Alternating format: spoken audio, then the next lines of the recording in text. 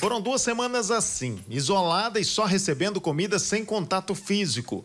Andréia foi diagnosticada com coronavírus. Não precisou ficar internada, mas não podia sair de casa para nada.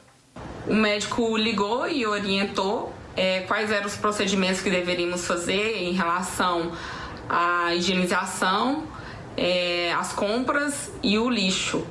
Então, passamos álcool em todas as nossas roupas, limpamos toda a casa com álcool também. Informamos a administração do prédio e eles falaram que prestariam toda a assistência necessária e que estariam higienizando aqui também da, da maneira correta. Como não existe um medicamento com eficácia comprovada contra o coronavírus, a única alternativa é o isolamento social. Até mesmo o contato com pessoas da mesma família deve ser evitado. Com isolamento domiciliar, o ideal é que essa pessoa possa ficar é, sozinha, sem contato com mais ninguém, mas isso nem sempre é possível. Então, todo o, o relacionamento in, dentro intradomiciliar deve contar com o, o, uso de máscara permanente, todo o material deve ser é, rigorosamente higienizado, né? E evitar o material entre esse paciente e qualquer outra pessoa que esteja dentro da casa. Andréia ficou isolada junto com o marido. A irmã dela era quem fazia compras e deixava tudo na porta do apartamento. Quando minha irmã fazia as compras de tanto supermercado quanto de farmácia, ela chegava, batia na porta e saía de perto.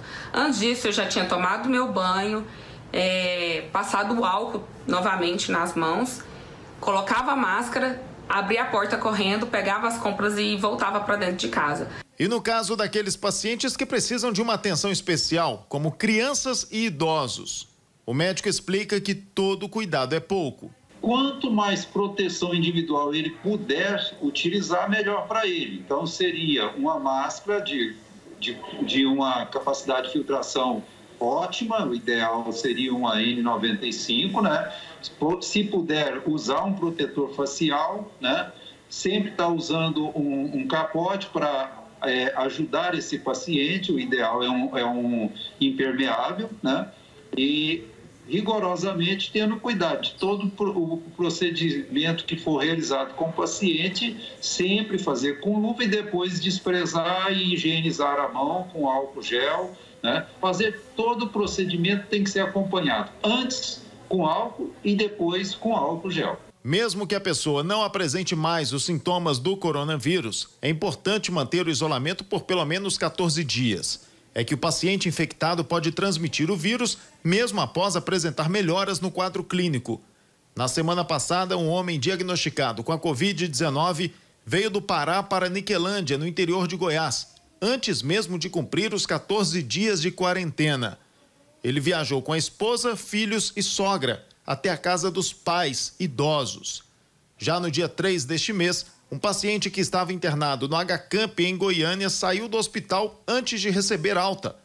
Ele pegou carona num caminhão e viajou por mais de 1.500 quilômetros até Santa Catarina. O risco primeiro individual, né? Porque a doença é uma doença dinâmica, poderia ter evoluído com maior comprometimento da, da, da, do sistema respiratório desse paciente ou outras complicações, já que ele não estaria mais sendo monitorado pelos profissionais de saúde. O segundo risco é o coletivo, né? Ele ficou expondo todas as pessoas a, que não tinha a menor noção que esse paciente era um portador sintomático da doença e, obviamente, ele contaminou, quer dizer, ele levou a transmissão para a coletividade.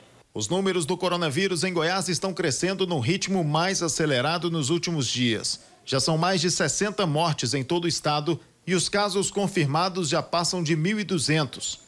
E a previsão para as próximas duas semanas não é nada animadora.